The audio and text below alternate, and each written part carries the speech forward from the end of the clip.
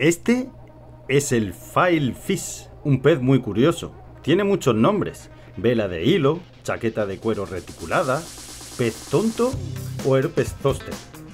Viven en los océanos Atlántico, Índico y Pacífico, desde donde están migrando por el canal de Suez al mar Mediterráneo. Es una gran familia de peces de unas 102 especies, en 27 géneros. Más de la mitad de ellos están en Australia. Están estrechamente relacionados con el pez ballesta, el pez globo y el pez baúl.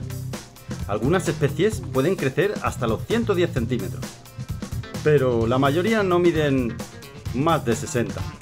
Su piel es tan dura que antiguamente lijaban los barcos con ella. Bueno, espero que os gustara el vídeo. Dejadme vuestro super like y como siempre os digo, hasta pronto.